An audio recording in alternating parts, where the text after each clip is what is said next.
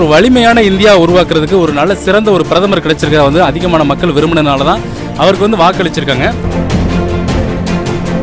சந்தேகம் நிச்சயமாக வருகிறது. தேர்தல் நியாயமாக நடைபெற்றதா என்பது விளக்கம் கொடுக்க வேண்டிய இடத்துல தேர்தல் ஆணையம் இருக்கிறது. அமாரா இந்தியா ஹே அது ஹே இது ஹேன்னு அவர் பாவம். மாமா பாரத பிரதமர் ஏதோ பேசுறாரு. அது நம்மளுக்கு புரியாதனாலேயே என்னமே தெரியல. தமிழகத்துல அவரால் கான்ட்ரோல் கால் ஊன்ற முடியல. ஆனால் இந்த மேற்கு வங்காளம் அப்போ புரட்சிகரமான ஒரு மாநிலம். எப்படி இன்றைக்கு அன்றைக்கு அவர்கள் சுதந்திர போராட்டத்தில் ஈடுபட்டார்கள்? அன்றைக்கு வந்து இன்குலாப் ஜிந்தாபாத் என்ற அந்த வாய் இன்றைக்கு எப்படி ஜெய் ஸ்ரீராம் என்று சொல்ல முடிந்தது? பல இடங்களிலே பிஜேபி தோற்றிருக்கிறது மே பெரும்பான்மையான இடங்களில் பிஜேபி ஜெயிச்சிருக்கிறது. அப்போ இங்கே எல்லாம் இப்படி பிஜேபி தோத்திருக்கிறது?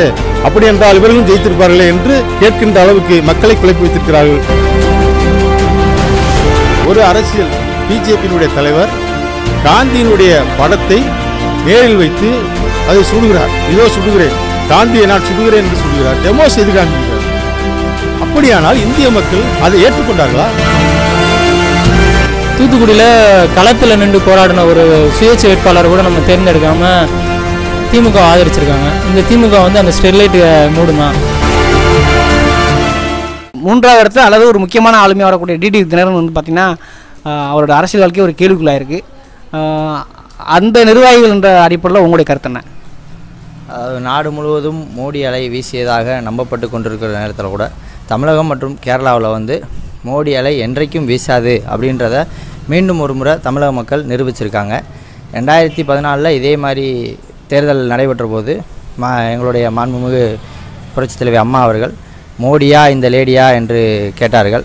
அதை அதை பிரதிபலிக்கும் விதமாகவே இன்றைய தேர்தல் முடிவுகளும் வந்திருக்கிறது. எங்களுக்கு எதிராக ஒரு முடிவு திமுக பெருவாரியான வெற்றியை பெற்றிருந்தாலும் தமிழகத்தில் வந்து என்றைக்கும் வந்து பாசிச பாரதிய ஜனதாவினுடைய ஆட்சி அவர்களுடைய கட்டுக்குள் வராது என்பதற்கு இது ஒரு மிகப்பெரிய சான்று. இடையில ஒரு முக்கியமான விஷயம் இப்ப வெற்றி வேறு என்ன சொல்கிறேன்னா ஒரு சில இடங்களில் ஜீரோ ஜீரோவாக காட்டிருக்குது. அப்படின்னு அரசு அதாவது தேர்தல் ஆணையத்துக்கு குற்றம் சொல்லியிருக்காரு. அதை பற்றி உங்க கருத்து? ஆ, பெருவாரியான ஒரு சில இடங்களில் அப்படியா அப்படிப்பட்ட சூழ்நிலைகள் நடந்திருக்குது அப்படின்னு சொல்கிறாங்க அது அப்படி என்ன என்ன நடந்துச்சு அப்படின்றது கட்டாயம் நமக்கு தெரியலை. ஆனால் எங்களுடைய நிர்வாகிகள் ஒவ்வொரு வா வட்ட அதாவது தமிழகத்தில் பொறுத்தளவு திமுக அதிமுகவுக்கு அடுத்தபடியாக ஒவ்வொரு வட்டக்கழக செயலாளர்கள் கிளைக்கழக செயலாளர்கள் மாவட்ட சார்பணி ஒன்றிய சார்பணி அனைத்து கல அனைத்து நிர்வாகிகளையும் போட்டு ஒரு மா மிகப்பெரிய கட்சியாக தமிழகத்தில் நிர்வாகி நிர்வாகம் பண்ணி செயல்பட்டு கொண்டிருந்தது நம்மளுடைய எங்களுடைய அம்மா மக்கள் முன்னேற்ற கழகம். அப்படிப்பட்ட இயக்கத்தில் வந்து ஒரு பூத்து ஒரு பூத்தில் நீங்கள் எடுத்துக்கிட்டிங்கன்னா சராசரியாக ஒரு பதினைந்து நிர்வாகிகள் பூத்து வா வட்டக்கழக நிர்வாகிகள் ஒரு பதினைந்து பேர் இருப்பாங்க. பூத்து கமிட்டி எல்லாமே இருப்பாங்க. அவங்களுடைய வாக்குகள் எங்கே போச்சு அப்படின்றது கேள்வி எழுப்பும்போது எங்களுக்கு சந்தேகமாக தான் இருக்குது நாங்கள் வந்து எதையும் உறுதியாக சொல்லலை. நடந்திருக்குன்னு நாங்கள் சொல்கிறோமோ இல்லையோ சந்தேகம் நிச்சயமாக வருகிறது. தேர்தல் நியாயமாக நடைபெற்றதா என்பது விளக்கம் கொடுக்க வேண்டிய இடத்துல தேர்தல் ஆணையம் இருக்கிறது. தேர்தல் ஆணையம் ஒருதலை பட்சமாக செயல்பட்டிருந்தால் அது நிச்சயம் தவறு. அது நிர்வாக அரசியல் கட்சிகள் வந்து தோல்வி தோத்துட்டதுனால இப்படி பேசுகிறாங்க அப்படின்னு நினைக்காம மக்கள் இதை வந்து யோசித்து பார்க்கணும் சிந்தித்து பார்க்கணும். ஏன் என்ன எப்படி நடந்திருக்கு? தமிழ்நாடு தமிழ்நாடு வேற இந்தியா வேறன்ற மாதிரி ஒரு ஃப்ரேம் இருக்குது ஒட்டுமொத்தமாக இந்தியா லெவலில் பாரதிய ஜனதா பெரிய வெற்றி பெற்றாலும் அதுவுமே அந்த அளவுக்கு சாத்தியமான்றது அந்த பகுதி மக்கள் சிந்தித்து பார்க்கணும் கேள்வி எழுப்பணும். அப்போ தான் இது பின்வரும் காலங்களில் தப்பு செய்யணும்னு நினச்சா கூட செய்ய செய்ய முடியாது. தமிழகத்தில் செய்யலை அப்படின்னு நம்புவோம். அப்படின்னா கூட தமிழகம் மாதிரி பிற மாநிலங்களையும் இனிமேல் செய்ய முடியாதுன்ற நிலைமையை உருவாக்கணும். அது அங்கே இருக்கக்கூடிய மக்கள் தான் விழிப்புணர்வோடு செயல்பட வேண்டும். அங்கே இருக்கக்கூடிய அரசியல் இயக்கங்கள் இதை வந்து இப்போ முறையாக எடுத்து செல்ல வேண்டும். ரெண்டாயிரத்தி பத்தொம்போது தேர்தல் பார்த்தீங்கன்னா இந்திய அளவில் ஒரு யாரும் மறுக்க முடியாத ஒரு வெற்றியை பெற்றுள்ளது பிஜேபி ஒரு இந்திய குடிமகனாக இதை நீங்கள் எப்படி பார்க்குறீங்க? பாரதிய ஜனதா கட்சியோட வெற்றி அப்படின்ற காட்டில மோடியோட வெற்றியாத்தே அவங்க வந்து அதை வந்து கொண்டாடுறாங்க. ஒரு வலிமையான இந்தியா உருவாக்குறதுக்கு ஒரு நல்ல சிறந்த ஒரு பிரதமர் கிடைச்சிருக்க வந்து அதிகமான மக்கள் விரும்பினதுனால தான் அவருக்கு வந்து வாக்களிச்சிருக்காங்க. ஆனால் தமிழகத்தில் தமிழகத்தை பொறுத்தளவு வந்து பார்த்தீங்கன்னா மோடிக்கு எதிராக வந்து வாக்குகள் விழுந்திருக்கா அப்படின்னு தான் அது வந்து நம்ம முழுமையாக வந்து சொல்ல முடியாது அப்படி சொல்லிட முடியாது. என்ன காரணம் சொன்னால் மக்களோட மனநிலையை வந்து அவங்க புரிஞ்சுக்கிறல அவ்வளோதான் மற்றபடி பாரதிய ஜனதா கட்சி வந்து தமிழகத்தில் இருக்கக்கூடிய மக்கள் வந்து எந்த மனநிலையில் இருக்கிறாங்கன்னு பார்த்து அவங்க சரியான அரசியல் பண்ணாததான் அந்த வாக்கு எண்ணிக்கைக்கான குறைவுன்னு கூட சொல்லலாம். மற்றபடி மோடிக்கு எதிராக வாக்களித்தாங்கன்னு சொல்கிறத வந்து ஏற்றுக்கிட முடியாது. ஏன்னா இன்றைக்கி வந்து பார்த்தீங்கன்னா குளிர்பானங்களே வேண்டாம். குளிர்பானங்களை இன்றைக்கி உள்ள இந்த கோடை காலத்தில் குளிர்பானங்களோட விலை குளிர்பானங்களோட விற்பனை வந்து மிகுந்த அளவு சரிவு ஏற்பட்டிருக்கு. அப்போனா என்ன தமிழக மக்கள் எல்லாருமே இயற்கையை நோக்கி திரும்ப ஆரம்பிச்சிட்டாங்க. இயற்கை நோக்கினா இப்போ பழச்சாறு சாதாரண கூழ் கூட குடிச்சு வாழணும் அப்படின்ற ஒரு சூழ்நிலை நோக்கி வந்து வந்துட்டாங்க அப்படின்னு இல்லை. அந்த மனநிலையை நோக்கி வந்து நடந்திருக்கணும் இந்த மீத்தேன் திட்டம் இந்த எட்டு வழிச்சாலை போன்ற திட்டங்களை கொண்டு வந்தது பெரிய அளவில் வந்து மக்கள்கிட்ட ஒரு தாக்கத்தை ஏற்படுத்தியிருக்குன்னு சொல்ல முடியும். அந்த உளவியல் ரீதியான விஷயங்களை வந்து பயன்படுத்த பாரதிய ஜனதா கட்சி வந்து தவறி இருக்காங்க அதனால தான் தமிழகத்தில் வந்து அவங்களால பெரிய அளவில் வந்து சாதிக்க முடியாது மற்றபடி மோடிக்கு எதிரான கருத்துக்கள்ன்றது வந்து ஏற்றுக்கொள்ளப்பட முடியாத ஒரு விஷயம். அதுபோல் வந்து பார்த்தீங்கன்னா நடிகர் கமலஹாசனுக்கு வந்து அதிகமான வாக்குகள் அளிச்சிருக்காங்க அப்படின்றது வந்து அது அது எந்த அளவுக்கு சரியானதுன்னு எனக்கு ரொம்ப தெரியல. ஏன்னா அவர் வந்து ஒரு மக்களுக்காக ஏதாவது ஒரு விஷயத்துல இருந்து வந்து போராடி இருக்கணும். எந்த அளவுக்கு மக்கள் வந்து அவர் தலைவராக ஏற்றுக்கிட்டாங்கன்ற விஷயமே தெரியல. ஒரு குறுகிய காலத்தில் வர்றாரு நான் வந்து ஒரு கட்சி ஆரம்பிக்கிறாரு அவருக்கு வந்து இவ்வளவு வாக்குகள் விழுந்திருக்கு அப்படின்றது தமிழக மக்கள் வந்து எதை நோக்கி போறாங்கன்றதே தீர்மானிக்க முடியல. ஒரு சி- சிறந்த தலைமை இப்போ ஒரு தினகரன் வர்றாருன்னா ஒரு கீழே இறங்கி வேலை பார்க்குறாரு அடித்தட்ட மக்களோட பழகுறாரு அவர் வந்து அவர் வந்து மக்கள் ஒரு குறிப்பிட்ட ஒவ்வொரு ஏரியா வந்து ஒவ்வொரு வார்டு வாரியாக வந்து கிளை கூட வந்து அமைக்கிறாங்க. அவராக இருக்குது இப்போ நாம் தமிழர் கட்சியெலாம் வந்து பார்த்தீங்கன்னா ஒரு வலிமையான இடத்துல தான் இருக்காங்க. நாம் தமிழர் கட்சி வந்து முன்னாடி ஒரு ஒரு லட்சம் ஓட்டு வாங்கினாங்கன்னா இப்போ ஒரு பத்து லட்சம் ஓட்டு வாங்கியிருக்காங்க. அப்படின்னா வந்து உண்மையிலேயே வந்து ஒரு வலிமையான இடத்தை நோக்கி அவங்களாம் பயணிச்சுட்டு இருக்காங்க. இந்த மாதிரி அடிப்படையிலிருந்து வரக்கூடிய தலைவர்களுக்கு வாக்களிக்காம இந்த மாதிரி கமலஹாசன் போன்றவர்கள் திடீர்னு வர்றவங்களுக்கு வாக்களிக்கிறாங்கன்னா இந்த நம்ம தமிழக மக்கள் எந்த மனநிலையில் இருக்காங்க அப்படின்றது வந்து ஒரு சரியான ஒரு முடிவுக்கு வர முடியல. இருந்தாலும் ப- ஒரு சிறந்த வலிமையான ஒரு பிரதமரை தேர்ந்தெடுக்க அப்படின்ற ஒரு மகிழ்ச்சியோட வந்து நன்றி கூறுறேன். வணக்கம். இப்போ வந்து இந்திய மத்தியில் பிஜேபி அதிக பெருமனையோட ஒரு வெற்றி பெற்றிருக்கு. ஒரு இந்திய குடிமனா இதை நீங்கள் எப்படி பார்க்குறீங்க இப்போ புதுசாக சொல்கிறதுக்கு ஒன்றும் இல்லை. இந்தி எதிர்ப்பு போராட்டம் அப்படின்னு சொல்லி தமிழகத்தில் இந்திக்கு இந்திய ஆகாது அப்படின்னு நம்மளை எல்லாத்தையும் பொதுவான இந்தியாவுக்கே ஒரு பொதுவான லாங்குவேஜ் தெரியாமே நம்மளை மழுங்கடிச்சிட்டாங்க. அமாரா இந்தியா ஹே அது ஹே இது ஹே நான் அவர் பாவம். மாமா பாரத பிரதமர் ஏதோ பேசுகிறாரு அது நம்மளுக்கு புரியாதனாலேயே என்னமே தெரியல. தமிழகத்தில் அவரால் கான்ட்ரோல் கால் ஊன்ற முடியல. ஆனால் நார்த்து சைடு அவருக்கு மெஜாரிட்டியான ஆட்கள் இருக்காங்க. அப்போ இது என்ன வருத்தத்தை தருதுன்னா இந்திய நம்ம தமிழ்நாட்டுக்கு கொண்டு வராமல் இருக்கிறது ஒரு ஒருதலை பட்சமான ஒரு அரசியல் முறையை இந்த நேரத்தில் நான் கடுமையாக சாடிக்கிறேன். அதே நேரத்தில் திரு மோடி அவர்கள் இந்தியா வந்துட்டு ஒரு எடுத்துக்காட்டான நாட்டாக ஆகணும்னு கொண்டு வந்தார். அதுக்கு வந்துட்டு கள்ள நோட்டு அதாவது சாரி பிளாக் மணியெல்லாம் எல்லாத்தையும் ஒழிக்கணுன்றதுக்காக ஐநூறு ஆயிரம் ரூபாய் செல்லாது அப்படின்னு கொண்டு வந்தார் இல்லையா? அவர் எப்போ இந்த நோட்டை ரிலீஸ் பண்ணாங்களோ அது ரெண்டே நாளில் மகாராஷ்டிராவில் கள்ள நோட்டு புழக்கத்தில் விட்டாங்க. வில்லாதி வில்லன்லாம் இருக்காங்க. அப்போ இப்போ மக்களோட கருத்து என்ன? கருப்பு நோட்டை அவர் ஒழிச்சிட்டாரா அப்படின்னா நிச்சயமாக இல்லை.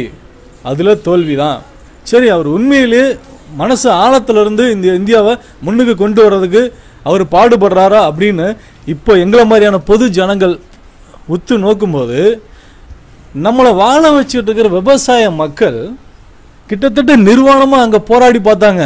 சூசைட் மட்டும் தற்கொலை மட்டும்தாங்க பண்ணலை. உலகம் பூரா சுற்றினார் இனிமேல் அவர் உலகத்துக்கு எங்கேயுமே போகிறதுக்கு இடமே இல்லை. ஆனால் அவர் வீட்டுக்கு பக்கத்தில் கிட்டத்தட்ட பட்னியாக இருந்து பார்த்தாங்க. மண்டை மொட்டை போட்டு பார்த்தாங்க. நரகத்தை தாங்க தின்னலை. அவ்வளவு பாடுபட்டாங்க. என்னன்னு கூட கண்டுக்கிறலங்க? அப்போ ஏன் அந்த- ஒருதலை பட்சமான ஒரு அரசியல் நடக்குதுன்றது? நான் ஒரு தமிழனா நான் அப்படிதான் பார்க்குறேன். ஒரு இந்தியனா நான் மோடியை பார்க்கல. ஒரு தமிழனா பார்க்குறேன். நீங்கள் நாட்டுக்கு நல்லது கொண்டு வாங்க. நிறைய செஞ்சு கொண்டு வாங்க நிறைய மாற்றங்கள் கொண்டு வாங்க. நீங்கள் என்ன சேஞ்ச் பண்ணியிருக்கீங்க எங்கே கரப்ஷன் இல்லை? எங்கே? சொல்லுங்கள் வாங்க சேலஞ்ச் பண்ணிக்கலாமா? நான் ஏன்னா நான் ஃபோன் நம்பர் தரேன். அறக்கழகத்தில் என் ஃபோன் நம்பருக்கு கேட்டு வாங்கிக்கிங்க. எந்த கவர்மெண்ட் ஆஃபீஸில் லஞ்சம் வாங்கலைன்ற நீங்கள் எனக்கு சொல்லுங்கள் நான் உங்களுக்கு ப்ரூஃப் தரேன். போட்டி வச்சுக்கலாமா? இந்த பேட்டியை பார்த்துட்டு இருக்கிற பெரிய பெரிய அறிஞர்கள் கல்வியாளர்கள் பெரிய பெரிய அதிகாரிகள் பிஜேபி ஆதரவாக இருக்கிறவங்களே. வாங்க என்னங்க தேர்தல் அறிக்கையில் சொன்னீங்க தனி நபருக்கு இத்தனை லட்சம் கொடுத்துருவோம்னு பத்து ரூபா கூட போடலை. வாங்க இப்பயும் ஒரு கணக்கு எடுத்துக்கிறோமா இப்படியே லைவில் போவோம். இப்போ நீங்கள் பார்த்துட்டு இருக்கீங்க அறக்கழக சேனலில் இப்படியே லைவில் போவோம். ரோட்டில் போகிற ஒரு பத்து பேரை கேட்போம். உன் பேரில் அக்கவுண்ட் இருக்கான்னு எத்தனை பேர் அக்கௌண்ட் இருக்குன்னு சொல்லுவான்னு பாப்பமா? யார் ஏமாத்துறீங்க? அரசியலை தொழில் ஆக்கிட்டீங்க.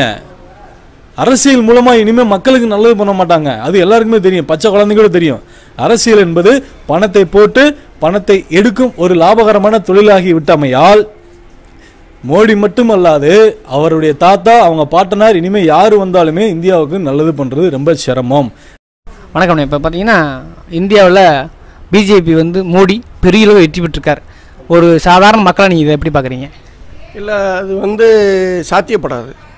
முந்நூற்றி ஐம்பது தொகுதி ஜெயிச்சிருக்காங்கன்னா இது வரைக்கும் இப்படி ஒரு வரலாறே கிடையாது. இது தவறான செயல்தான். இது வந்து ஒரு தவறான ஒரு கருத்து. இதில் என்ன நடந்துச்சுன்றது தெரியல. ஆனால் இது உண்மையிலே ஏதோ ஒன்று நடந்திருக்கு. இதுதாங்க காரணம். நீங்கள் எப்படி பார்த்தாலும் இதில் ஏதோ மிஷினோ இல்லை யாரோ எப்படியோ என்ன ஒன்று நடந்து தான் இது நடந்திருக்கு.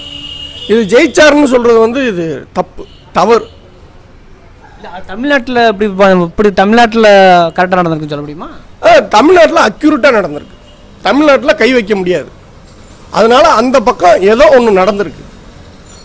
சம்திங் ராங் இதுதான் உண்மை.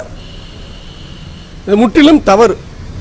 முந்நூற்றி ஐம்பது தொகுதி ஜெயிச்சிருக்காருன்னு சொல்கிறது வந்து மிகப்பெரிய தவறு. நீங்கள் எப்படி வேணாலும் எடுத்துக்கோங்க. ஆனால் இது வந்து முற்றிலும் தவறு.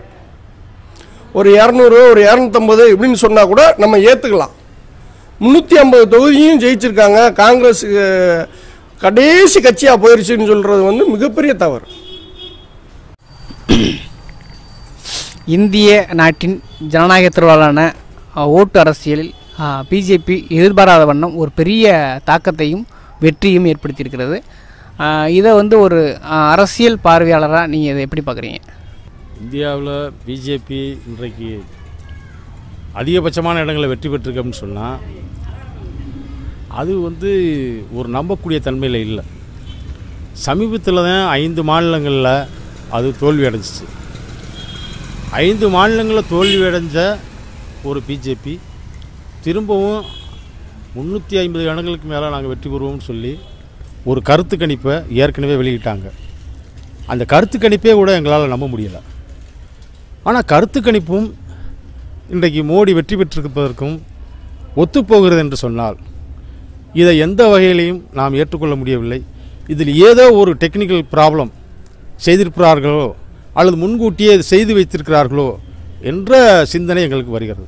தமிழகத்திலும் தென் மாநிலங்களிலும் ஏற்பட்டிருக்கக்கூடிய அந்த ஒரு மோடிக்கு எதிரான ஒரு அலை. ஏன் இந்தியா முழுவதும் அடிக்கவில்லை? அப்போ ஓட்டிங் மிஷினில் இங்கே இவங்களால் எதுவும் செய்ய முடியல. அல்லது விழிப்புணர்வு படைத்த மூன்று மாநில தென் மாவட்டங்கள் தென் மாநிலங்களில் எதுவுமே செய்ய முடியல அப்படின்னா அப்போ வட மாநிலங்களில் என்னதோ செஞ்சுருக்கிறாங்க. அல்லது இங்கே இருக்கக்கூடிய ஒரு அரசியல் விழிப்புணர்வு வட மாநிலங்களில் இல்லை என்பது யதார்த்தமாக இந்திய அரசியலில் தெரியும். ஆனால் அங்கே வந்து இப்படி செஞ்சுருக்கலாம் அப்படிங்கிற ஒரு சந்தேகமும் வருது. தமிழகத்தை பொறுத்தளவுக்கு நீட்டு தேர்வு அதே போல் ஹைட்ரோ கார்பன் திட்டம் அதே போல் இங்கே தூத்துக்குடியிலே பதிமூணு பேர் சுட்டுக் கொல்லப்பட்டது மாணவி அனிதா இறந்தது இது போன்ற பல்வேறு சம்பவங்கள் தமிழகத்தில் நடந்திருக்கிறது. எனவே எதிர்ப்பலை இங்கே இருந்தது என்று சொல்லுகிறதுக்கு ஒரு நியாயம் இருக்கிறது. அதே போல் தமிழகம் ஏற்கனவே பெரியார் கம்யூனிஸ்டுகள் இங்கே போராடிய மண் என்ற அடிப்படையிலே மிக விழிப்புணர்வு பெற்ற மாநிலம் என்ற அடிப்படையிலே ஒரு எதிர்ப்பலை இருந்ததை நியாயப்படுத்திக் கொள்ளலாம். ஆனால் வட மாநிலங்களிலே அப்படி இல்லை என்று சொல்ல முடியாது. வட மாநிலங்களும் கடுமையான போராட்டங்கள் நடந்திருக்கிறது. பல விவசாயிகள் போராட்டம் நிறைய நடந்திருக்கிறது. விவசாயிகள் கொந்தளித்திருக்கிறார்கள். குறிப்பாக விவசாய தொழிலாளர்கள் கிராமப்புற மக்கள் நூறு நாள் வேலை திட்டத்தை இந்த அரசு எடுத்து விட்டது. அது தமிழக மக்கள் மத்தியிலும் ஒரு கொந்தளிப்பு ஏற்படுத்தியது. ஆனால் நூறு நாள் வேலை திட்டம் தமிழகத்தில் மட்டுமல்ல இந்தியா முழுவதும் எடுக்கப்பட்டது. ஆனால் அங்கேயே அந்த கோபம் வரவில்லை. நிச்சயமாக அங்கேயும் கோபம் இருந்திருக்கும் என்பதுதான் என்னுடைய கருத்து. ஆனால் அந்த கோபத்தை இவர்கள் வாக்குச்சீட்டிலே செலுத்தியிருப்பார்கள். ஆனால் வாக்கு மிஷின் மட்டும் ஏதோ அவர்கள் கோபப்படாத போல் வாக்கு வேறு மாதிரி விழுந்திருக்குமோ என்கின்ற ஒரு சந்தேகம் எனக்கு ஏற்படுகிறது. எல்லா இடங்களிலும் பிஜேபிக்கு எதிரான மனநிலை இந்தியா முழுவதும் இருக்கும் பொழுது வட மாநிலங்களில் மட்டும் இவ்வாறு அடித்து வருவது ஏற்றுக்கொள்ள முடியாத அளவிற்கு இருக்கிறது. குறிப்பாக மேற்கு வங்காளத்திலே புரட்சியாளர்களை உருவாக்கின மேற்கு வங்காளம். சுதந்திர போராட்ட காலத்திற்கு முன்பு இந்தியாவிலே அதிகமான புரட்சியாளர்கள் தோன்றிய ஒரே மாநிலம் குறிப்பாக சொல்ல வேண்டும் என்று சொன்னால் அது மேற்கு வங்காளம் தான். ஆனால் இந்த மேற்கு வங்காளம் அவ்வளோ புரட்சிகரமான ஒரு மாநிலம். எப்படி இன்றைக்கு அன்றைக்கு அவர்கள் சுதந்திர போராட்டத்தில் ஈடுபட்டார்கள்? அன்றைக்கு வந்து இன்குலாப் ஜிந்தாபாத் என்ற அந்த வாய் இன்றைக்கு எப்படி ஜெய் ஸ்ரீராம் என்று சொல்ல முடிந்தது? அங்கே எப்படி ஜெயித்திருக்க முடியும்? நிச்சயமாக முடிஞ்சு முடியாது. எனவே தான் இப்படி புரட்சிகரமான மாநிலங்கள் கூட தமிழகம் போன்ற அதுவும் ஒரு புரட்சிகரமான மாநிலம். ஆனால் அங்கேயே கூட பிஜேபி ஜெயித்திருக்குன்னு சொன்னால் நம்பவே முடியவில்லை. எனவே இவர்கள் ஏதோ தேர்தல் பித்தலாட்டம் செய்திருப்பார்கள் என்கின்ற யூகம்தான் எங்களை போன்ற அரசியல்வாதிகளுக்கு வருகிறது. ஆனால் இந்த வியூகம் என்பது சாதாரண மக்களுக்கு புரியாது. பல இடங்களிலே பிஜேபி தோற்றிருக்கிறது. மே பெரும்பான்மையான இடங்களில் பிஜேபி ஜெயிச்சிருக்கிறது அப்போ இங்கே எல்லாம் இப்படி பிஜேபி தோற்றிருக்கிறதே அப்படி என்றால் இவர்களும் ஜெயித்திருப்பார்களே என்று கேட்கின்ற அளவுக்கு மக்களை குழப்பி வைத்திருக்கிறார்கள். எதிர்காலத்தில் மக்களை எப்படி இவர்கள் குழப்ப மாட்டார்கள் என்பதற்கு இது ஒரு எடுத்துக்காட்டு. இன்னொன்று இன்றைக்கு ஓட்டிங் மிஷின் மேலே வாக்கு எந்திரத்தின் மீது ஒரு சந்தேகம் வலுவாக எழுந்திருக்கிறது. தகவல் அறியும் உரிமை சட்டத்தில் வாக்கு எந்திரங்கள் வாங்கப்பட்ட விஷயத்தில் அது மீதம் அடுக்கி வைக்கப்பட்டிருக்க அல்லது ஸ்டாக் வச்சிருக்கக்கூடிய இடங்களில் அதனுடைய கணக்கு வழக்குகள் சரியாக இல்லை என்ற விவரம் வெளியில் வந்திருக்கிறது. தேர்தல் கமிஷனரே அதிருப்தியை வெளியிட்டிருக்கிறார். தேர்தல் விதிமுறைகளை மோடி மீறுவதாக வெளியிட்டிருக்கிறார். ஆக தேர்தல் கமிஷனிலே ஒரு அதிருப்தி வெளியே வருகிறது என்று சொன்னால் அது அங்கு ஏதோ நடந்திருக்கிறது. அது வேறு வகையாக வெளியிட்டு வெளியிட்டிருக்கிறார்கள் என்பதுதான் என்னுடைய பார்வை. அதே போல இந்தியாவிலே மன அதாவது பண மதிப்பிழப்பு நடவடிக்கையில் அதே போல அது தவறானது என்று அவர்களால் நியமிக்கப்பட்ட ரகராம்ராஜனே வெளியே சொல்லியிருக்கிறார்.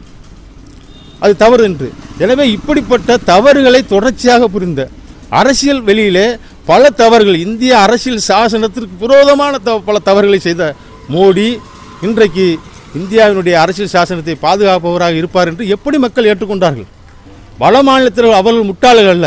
நிச்சயமாக மோடிக்கு எதிராக வட மாநிலத்தில் பெருவாரியான வாக்குகளை எதிர்க்கட்சிக்கு அளித்திருப்பார்கள் என்றே நான் இன்று வரை நம்புகிறேன்.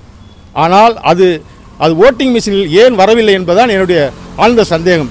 நம்மை போன்றவர்களுக்கு இந்த சந்தேகம் இருக்கு என்று சொன்னால் நிச்சயமாக தொழில்நுட்ப வல்லுநர்களிடம் நாம் இன்னும் நாம் ஆலோசனை கேட்டால் நிச்சயமாக இது போன்ற தவறுகள் பின்னாடி அம்பலமாகலாம். ஒருவேளை இப்படி வரும் ஐந்தாண்டு காலத்தில் இந்த மோடி செய்த இந்த ஓட்டிங் மிஷினில் ஏதாவது செய்திருந்தால் அது அம்பலத்திற்கு வறுமையானால் அடுத்த ஐந்தாண்டு கழித்து இந்த மோடி அரசு ஓட்டு பதிவே நடத்தாது. இந்தியாவில் தேர்தல் என்பதே நடத்தாது என்பதே என்னுடைய கணக்கு. நீங்கள் ஒவ்வொன்றாக பிஜேபியினுடைய அட்டுழியங்களை பிஜேபியினுடைய கொள்கைகளை அவர்களுடைய அரசியல் சாசனத்துக்கு விரோதமான கொள்கைகளை நீங்கள் ஒவ்வொன்றாக கண்டறிந்து அவர்களுடைய முகமூடியை கலட்டி கொண்டிருக்கும் பொழுது அவர்கள் அடுத்த கட்டத்திற்கு சென்று ஒரு ஜனநாயக விரோத சர்வாதிகார ஆட்சிக்கு தான் செல்லப் போகிறார்கள் என்பதான் என்னுடைய கருத்து. ஏற்பட்டிருக்கிறது. ஒரே ஒரு உதாரணம் சொல்வோம். ஒரு அரசியல் பிஜேபியினுடைய தலைவர் காந்தியினுடைய படத்தை நேரில் வைத்து அதை சுடுகிறார். இதோ சுடுகிறேன். காந்தியை நான் சுடுகிறேன் என்று சுடுகிறார். டெமோ செய்து காமிக்கிறார். அப்படியானால் இந்திய மக்கள் அதை ஏற்றுக்கொண்டார்களா? அப்படி ஏற்றுக்கொண்டு தான் இன்றைக்கு வாக்களித்திருக்கிறார்களா? ஒரு காந்தியை கொண்டவர்களுக்கு வாக்களிப்போம் என்று இந்திய மக்கள் எப்போது முடிவெடுத்தார்கள்? எந்த காலத்திலும் எடுத்திருக்க முடியாது. இதில் ஏதோ தவறு நடந்திருக்கு என்பது பின்னால் வெளிச்சத்திற்கு வரும். அதை நம்ம எல்லோரும் ஒன்று சேர்ந்து அம்பலப்படுத்துவோம். விழிப்புணர்வோடு இந்த நாட்டில் ஒரு மதசார்பினை பாதுகாப்பதற்காக இந்த மோடி ஆட்சி என்பதை வருங்காலத்தில் அம்பலப்படுத்தக்கூடிய வேலைத்தான் நாம் செய்ய வேண்டியிருக்கும். அதோடு மக்களுக்கான போராட்டத்தையும் நாம் தொடர்ந்து நடத்த வேண்டிய அவசியம் என்பது இருக்கிறது என்பதுதான் இதிலிருந்து நாம் செய்து கொள்ளக்கூடிய உண்மை. ரெண்டாயிரத்தி பத்தொம்போது ரெண்டாயிரத்தி பத்தொம்போது தேர்தல் வந்து யார் எதிர்வராதுன்னா பிஜேபி பெரிய அளவு வெற்றி பெற்றிருக்கு. அதே சமயத்தில் தமிழ்நாட்டில் அது பெரிய தோல்வி அடைஞ்சிருக்குது. தேர்தலோட முடிவு வந்து ஒரு விதமான ஒரு ஒரு மகிழ்ச்சியும் ஒரு நம்பிக்கையும் கொடுத்தாலும் மற்ற மாநில தமிழ்நாடு தவிர்த்து மற்ற மாநிலங்களில் இந்தியாவோட எதிர்காலத்தை தீர்மானிக்க போகிற வாக்காக தான் நான் அதை பார்க்குறேன். ஒரு தேர்தல் முடிவாக தான் பார்க்குறேன். ஏற்கனவே ஐந்து ஆண்டுகளில் இந்தியா வந்து ஒட்டுமொத்தமாக ஒரு பன்னாட்டு கம்பெனிகளோட தரகர்களுக்கு விற்கப்பட்டது. இவங்களும் தரகர்களாக இருக்காங்க. பன்னாட்டு கம்பெனிகள் என்ன தீர்மானிக்குதோ அதுதான் ஊடகமும் வெளிக்கொணர்து. மக்கள் எதை பார்க்கணுன்றதையும் அதே அந்த ஊடக தர்மம் அவ்வளோ சிறப்பாக செயல்படுது அந்த பன்னாட்டு முதலாளிகளுக்கு. இன்னமும் ஒரு ஐந்து ஆண்டுகள் இருக்கும் பொழுது ஏற்கனவே நம்மளால் போராட முடியல. போராடினா மக்களுக்கு ஆதரவாக அநீதிகளுக்கு எதிராக போராடக்கூடிய அனைத்து போராளிகளும் நசுக்க போகிறாங்க சுட்டு கொல்லப்படுறாங்க. இன்னும் இந்த ஐந்து ஆண்டுகளில் இதுதான் நடக்கும். இதுதான் நம்ம பார்க்க போகிறோம் அதுக்கான முன்னோட்டம் தான் தூத்துக்குடி துப்பாக்கி சூடாக இருக்கலாம். சரிங்களா? இன்னமும் தொடரும். இனி நீ உனக்காண்டி உனக்கு உணவு இல்லை உனக்கு உறவிடம் இல்லை எனக்கு தண்ணி இல்லை அப்படின்னு நீ போராடும்போது அது நீ பத்து பேர் போராடினா அடித்து ஒழிக்கப்படுவீங்க. இதே ஒரு நூ இருபது பேர் போராடினா ஒரு ரெண்டு பேர் சுட்டு சுட்டு கொல்லப்படுவார்கள் இதுதான் நடக்கும். இனி வந்து அஹ், அனை எந்த ஒரு போராட்டத்துக்குமான பூமியாக இது இருக்காது. ஒட்டுமொத்த பன்னாட்டு கம்பெனிகளோட வியாபார தளமாக இது மாறும். இந்தியா வந்து அதுதான் ஆக போகுது. தமிழ்நாட்டில் பிஜேபி அடி வாங்கக்கூடிய காரணம் தமிழ்நாடு கேரளா இரண்டுமே வந்து படிப்பறிவில் சிந்திக்கக்கூடிய மக்கள் வாழக்கூடிய ஒரு மாநிலம். மற்ற மாநிலங்கள் என்னென்னா வந்து கல்வி அறிவு இல்லாத பானிபூரி விற்கக்கூடிய வட இந்தியர்களோட ஆதிக்கம் நிறைந்த ஒரு மாநிலம். அங்கே ஏன் அப்படி இருக்காங்கன்னா இந்த பிஜேபிக்கு ஓட்டு போட்டால் அது அப்படி தான் இருப்பாங்க. இப்போ பொருளாதார சிக்கலும் சரி பொருளாதார வளர்ச்சியற்ற மாநிலங்கள் எல்லாமே வந்து பிஜேபியை ஆதரிச்சிருக்கு. சரிங்களா? அதுதான் உண்மை. இன்னமும் இந்த ஐந்து ஆண்டுகளில் இந்தியா வந்து முழுக்க பன்னாட்டு கம்பெனிகளோட வியாபார தளமாக மாறும்ன்ற ஒரு பயம் இருக்குது நம்ம அதுக்காண்டி போராடி தான் ஆகணும். இப்போ நாம் தமிழரும் மக்கள் நீதி மையம் ஒரு கணிசமான வாக்கள் பெற்றிருக்கு. அது உன்னுடைய பார்வையில்? நாம் தமிழர் கட்சி வந்து ஒரு நல்ல வளர்ச்சியை நோக்கி தான் போகுது. மக்கள் நீதி மையத்திற்கும் நாம் தமிழருக்கும் நம்ம ஒப்பிட்டு வச்சோம்னா மக்கள் நீதி மையம் வந்து முழுக்க விளம்பரத்துக்கான ஒரு வாக்கு வங்கியாக தான் இருக்குது. மக்கள் வந்து இன்னமும் சிந்திக்கணும். சிந்திச்சு வாக்கு செலுத்தணும். களத்தில் யார் வேலை பார்க்குறாங்களோ அவங்க தான் நம்மளுக்கு நாளைய நம்மளுக்கான தலைவர்களாக இருப்பாங்க. வெறும் சினிமாவிலையோ வெறும் தொலைக்காட்சியில் வந்து போரா போ களத்தில் நிற்கிற போராளிகள் வந்து மக்களுக்கான போராட்ட போராளிகளாக இருக்க மாட்டாங்க. அதை மக்கள் சிந்திக்கணும். இயற்கைக்கும் தற்சார்பு பொருளாதாரம் சுற்றுச்சூழல் உலகத்தோட அனைத்து உயிர்களுக்குமான அரசியலை பேசக்கூடிய ஒரு இயக்கத்தை நம்ம முன்னிறுத்தணும் அவங்கள நம்ம ஆதரிக்கணும் அவங்களுடைய அரசியலை நம்ம பார்க்கணும். எதிர்க்கலாம். சீமானோட சீமானன் தனிப்பட்ட மனிதனை எதிர்க்கலாம். அவன் வைக்கக்கூடிய அரசியலை நம்ம பார்க்கணும். அவன் முன் வைக்கக்கூடிய விவாதங்களை பார்க்கணும் விஷயங்களை பார்க்கணும். சீமான் இன்னைக்கு வரலாம் நாளைக்கு போயிடலாம் ஆனால் அவர் வைத்த தத்துவம் வந்து என்னைக்கா இருந்தாலும் இருக்கும். இதை சீமான் மட்டும்தான் முன்வைக்கணுமா? இல்லை நீங்கள் இதே நீங்கள் ஏற்றுக்கிட்ட இதே திமுக இருக்கலாம் அதிமுக இருக்கலாம். அவ நீங்கள் அவங்ககிட்ட சொல்லுங்கள் அவங்க பேசக்கூடிய தத்துவங்களை நீங்கள் வைக்க சொல்லுங்கள் அப்போ சீமானை ஏன் எதிர்க்கிறீங்க. சீமானோட தனிப்பட்ட இதை யாரும் நிறையா பேர் எதிர்க்கலாம். அது தப்பே கிடையாது. எல்லாரையும் எல்லா கட்சியுமே மக்கள் எதிர் எதிர்க்க தான் செய்கிறாங்க இன்றைக்கி எதிர்ப்பாங்க நாளைக்கு ஆதரிப்பாங்க நாளைக்கு தலையில் தூக்கி வச்சு கொண்டாடுவோம் இதே எல்லா இயக்கங்களும் எல்லா போராட்ட குழுக்களும் அப்படி தான் உடனே ஏற்றுக்கிட்ட வந்த நிமிஷத்தில் யாரும் ஏற்றுக்கிட்டது கிடையாது.